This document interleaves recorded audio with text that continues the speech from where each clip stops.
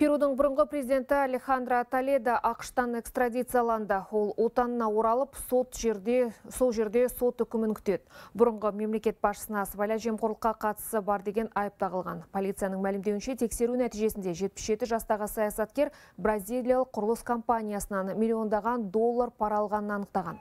Бірақ Толедо өз күнәсін мойындамай өзіне тағылған айыпты жоққа шығарып отыр. Толедоның жақтастары полиция ғимаратының жанына жиналып, әділ тергеу өткізуді талап етті.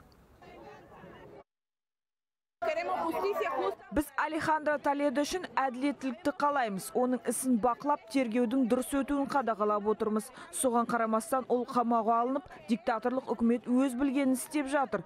Перуде адам құқығын сақтау деген жоқ. Қазіргі биліктің саясаты әділ емес.